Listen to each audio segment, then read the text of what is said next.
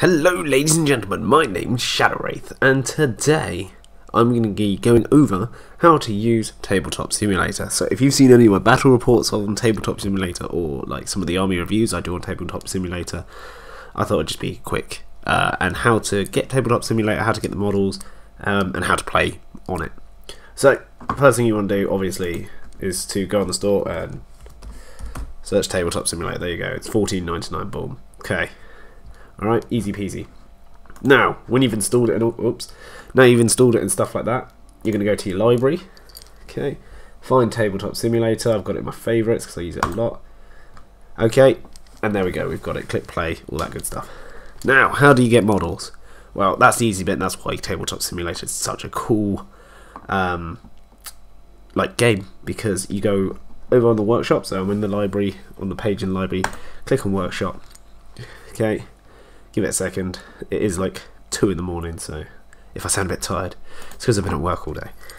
Now, no idea what that is. That's terrifying. But we're just going to search whatever we want. So, Middle Earth, uh, I'll do MESBG, search, and you get all sorts of stuff. So, maps, there's a map that's kind of cool. Defensive Edoras, you know what? I'm going to save it. Alright, and you see what I did there? I clicked on the little plus that means I'm going to add it to my game. So I'm going to have that one. That is mental. I'm never going to play on that.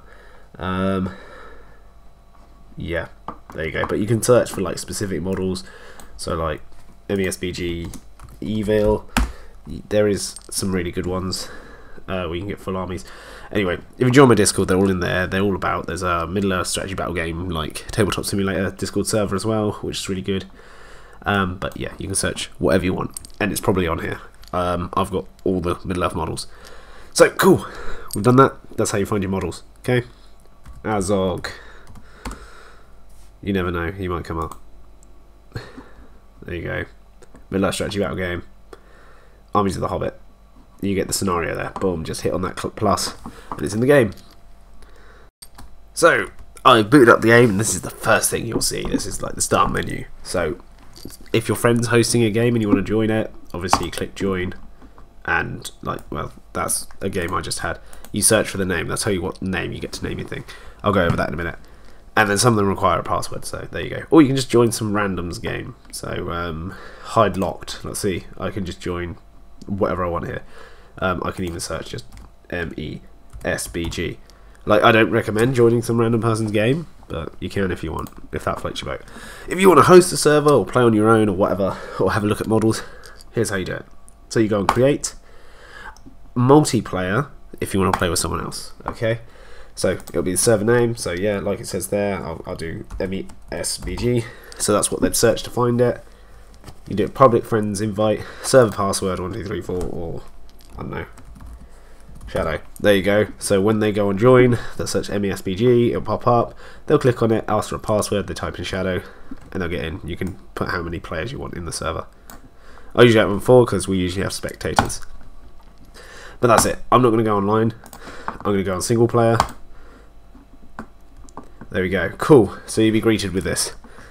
Um, remember those things you added? So you hit on the plus sign? Well, to find them, you go in the workshop because you know that's where we got all the stuff from, and it will all be here, so you can search it here.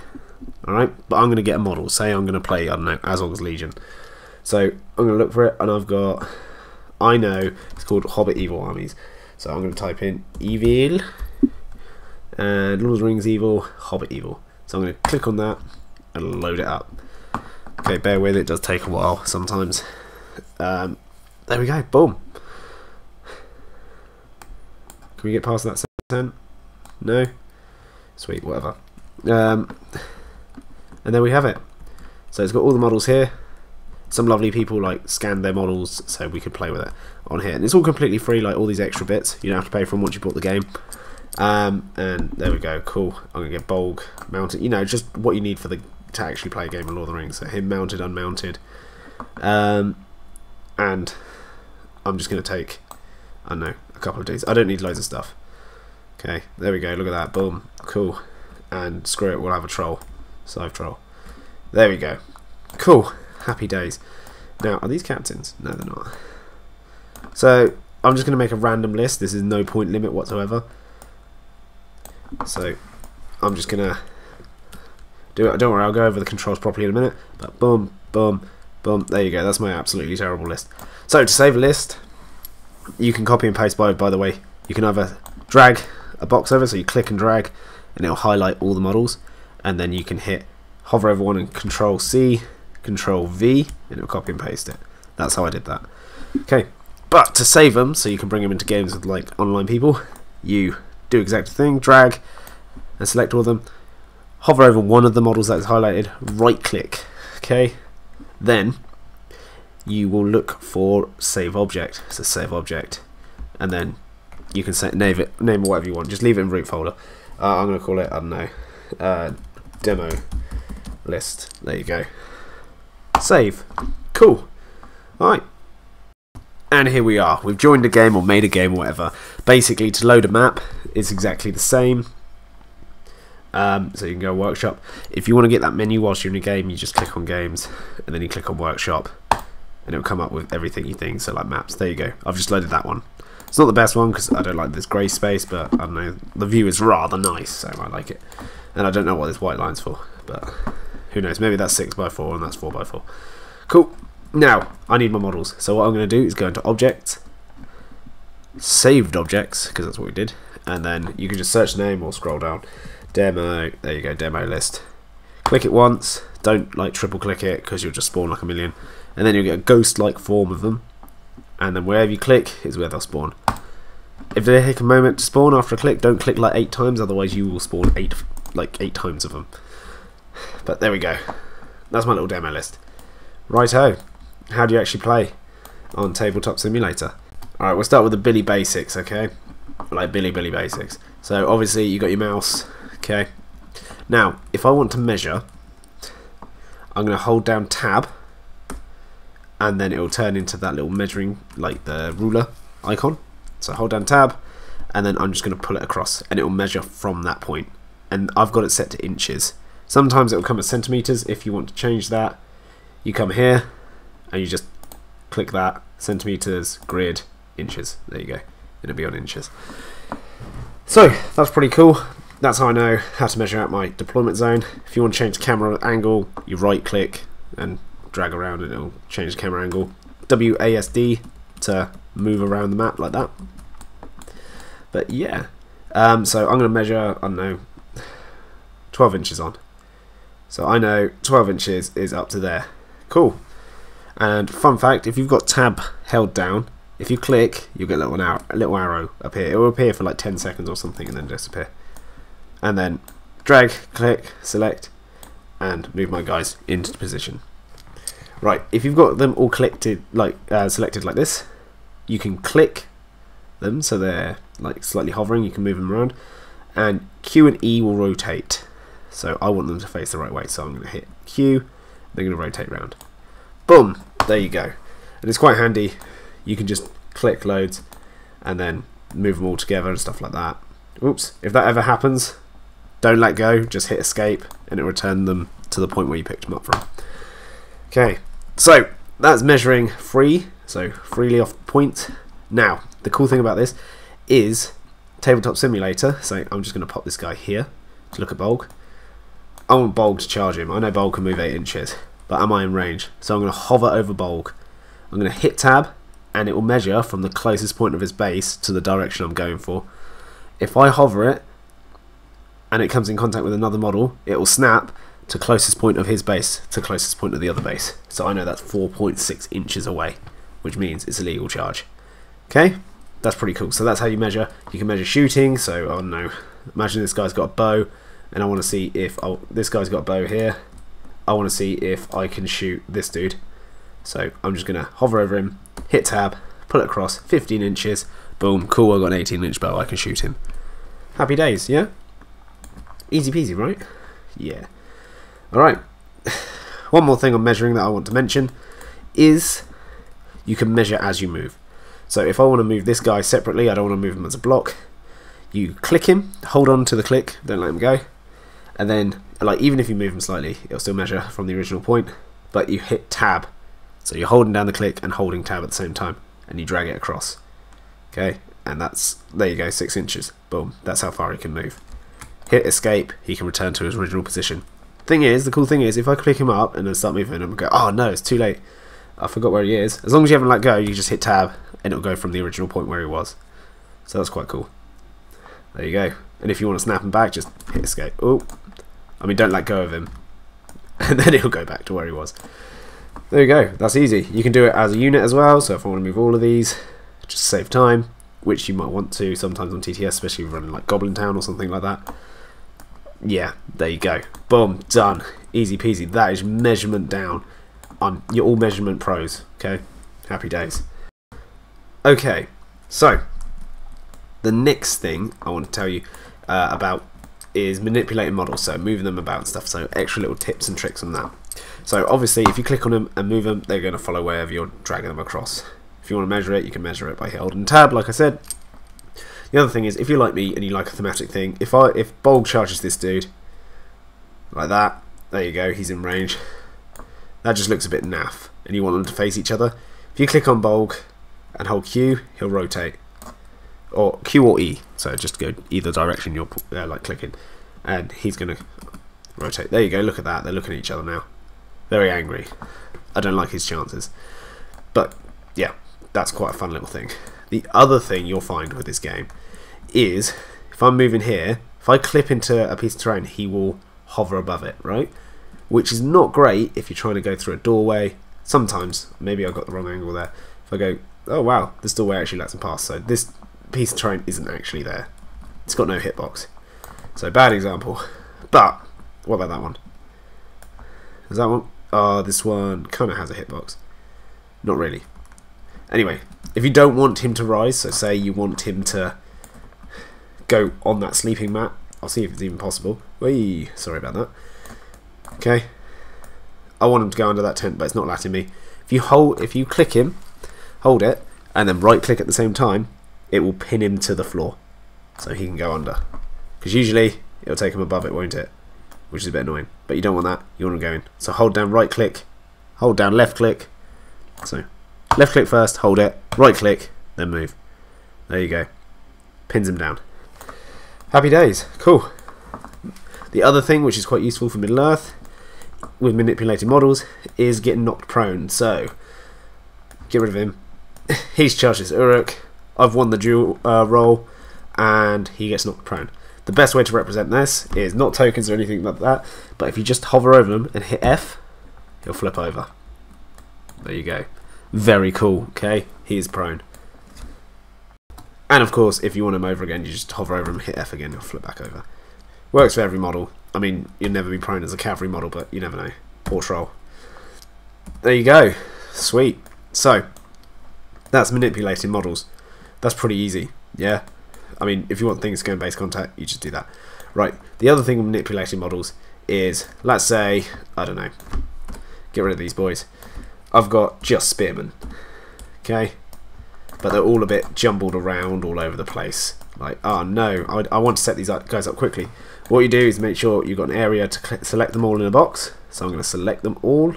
Okay, once they're all highlighted, click on one of them to pick them up, hold it, and then if I press a number, that's how many ranks they'll be in. So one will put them in one rank, two will put them in two, three, four, five, so on. They can't go above five. Or above 4, should I say. Uh, no, above 5. There you go. So I'm going to have them two ranks, so I know that they're spear sporting. When you're playing on TTS, you have to give a little bit of leeway for base contact. Just make it clear this guy is in base contact, because, you know, it's quite hard to see. Sometimes quite hard to get them into base contact. But there you go. They're definitely in base contact, I think. Boom! Easy. Easy peasy. But unfortunately, they got Sorcerer's Blast, so they're all not prone. There you go. Right, so you all know how to measure, you all know how to move your models and manipulate them, okay? Pretty easy, yeah? It's easy once you get told. All this stuff, like, you can ignore most of it. Like, you don't need to know all of it to play. Um, at the end of the video, I'll do, like, a, a, like a little advanced thing where you get extra bonus things that you can do, which are quite useful, but they're not, like, a must-know. But, you're probably thinking, hey, Shadow Wraith, we need to roll some dice. How do we do that? Well, it's the same way um, some maps come with dice, but I save my dice. Okay, so you can go into, you can search them in the workshop like I showed you how to get your models, and then save them. I've got like a bunch of dice, Uh, my favourite dice are usually my Skaven dice because I have them in real life, and you just spawn them in. Boom, there you go. I've got my dice. Right, there are many ways to roll these dice. Okay, one way is to highlight them. So if I want to roll one dice, it's up to you. You can either highlight it in the box, which is what I do, or you can hover over it without highlighting it. I'm going to um, highlight it because I don't need to hover over it. I can just roll it. To roll it, just hit R. I like to double tap R to get a good roll, um, but it's up to you. So that's a double R just to get a nice good roll. Boom, six. What a good roll. If you just one tap it, sometimes it doesn't roll very well. I mean, it's rolling perfectly for me now. But yeah, that was a bit of a spin on one number. If you double tap it or triple tap it, you do it. There you go. It works if you want to roll multiple dice. So if I want to roll four dice, I highlight all of them in that box. There you go. Triple tap R, whatever. Boom, that's what I rolled. And if you hover over it, it'll tell you what you've rolled as well. If you're too blind, but just zoom in. It's not hard to see. There we go. Rolling dice. They're your two main ways. Okay. Um, like you can roll dice like this. I don't really like it because they tend to go everywhere, knock things over, and sometimes they don't even roll properly.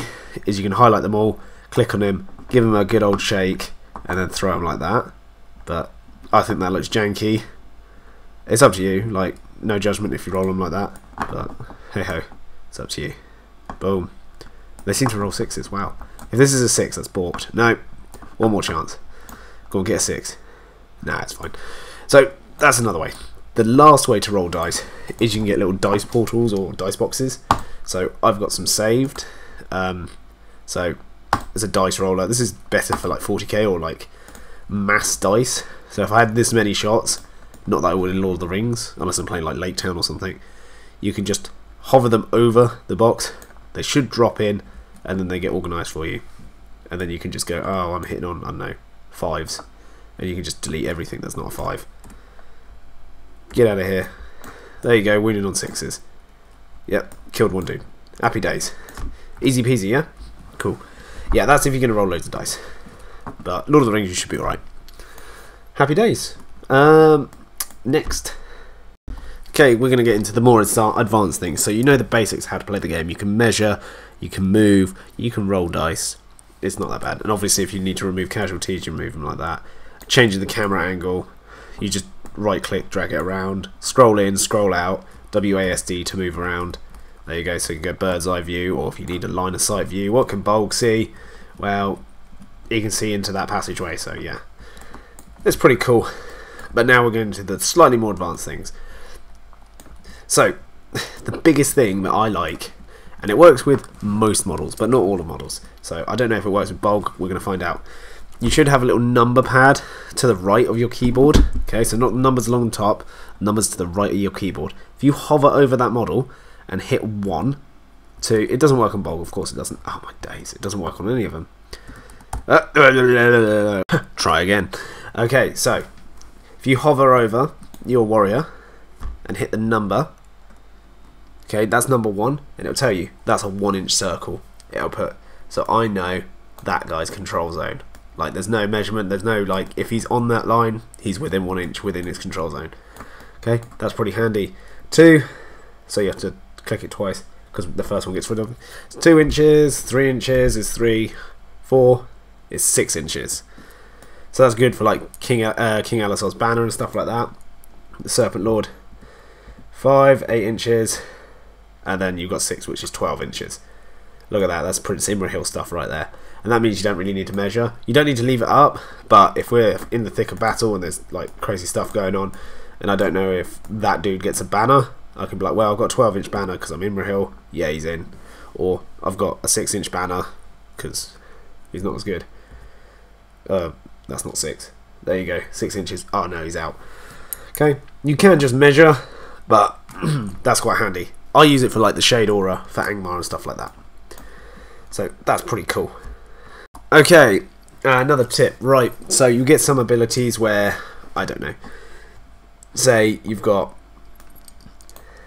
this dude and you've got multiple like cavalry charging or something like that. So say this guy is a cavalry model or this guy gets plus one to wound if he's charged. Imagine he's a um, knight of uh, Dale, yeah, So he's just been charged, but his friend next to him didn't get charged. I actually charged the elf. It might get confusing later on who gets plus one to wound, so what I can do is right click on him, colour tint, any colour you want, and it changes colour, and I know he gets plus one to wound. That's pretty cool and pretty helpful. We want to set him back, you just put it to white, and it'll go back to normal. The other thing you can do, so say this guy, super special, and I had a spare one point in my list, and I didn't want to give anyone shields because I'm a madman. I can right click on him, go down to the bottom where it says his name, click on it, Spearman with axe, and then hit enter. Boom. And if I hover over him, it's really easy to see what he's got. Spearman with axe. Because you won't get all WYSIWYG models in this game, so you can just label him, and that's as good as WYSIWYG pretty much. The final thing I'm going to show you is really good. So there's a lot of tracking involved, so keep it in uh, tally of like Might, Will and Fate, things like that in Lord of the Rings, or any other game there's always like command points or whatever. So in this bottom right of your screen here, you've got a little edit note. If you click on that, I don't know if you can see it, but there's a little like imaginary box. If you click on that imaginary box, you'll get a little cursor thing. And you can do, say, Bolg and he has got I don't know three might, three will, three fate. There you go, and then you can go. So yeah, there we go. That's pretty much it. Um, the last thing, which you might find extremely, this is probably the most important thing, and it doesn't work on all tables. You have to have the right table to do this absolute MLG like pro player move. But if you click on this little thing up here and you're losing the game, suddenly you're not really losing the game. it flips the table. It doesn't do it too well on this. Oh, there we go. See you later, table. I didn't lose because there's no game. There you go. Some things are like stuck in now. Just click on them and it'll chin them off. Get out of here. There you go. And my little message. Oh, look at that. That's oh wow. I don't like looking in there. That upset my brain. Um, yeah, there we go. That's a quick rundown how to play Tabletop Simulator. So, um, make sure you like the video if you thought it was useful, and jump on my Discord server because there's plenty of people playing on there. Um, so yeah, you can even challenge me to a game if you want. Hey ho. But that's it. If you're feeling especially saintly today, do consider subscribing. But even if you don't do any of those things, I still hope you have an absolutely fantastic day, and I'll see you in the next video. Goodbye.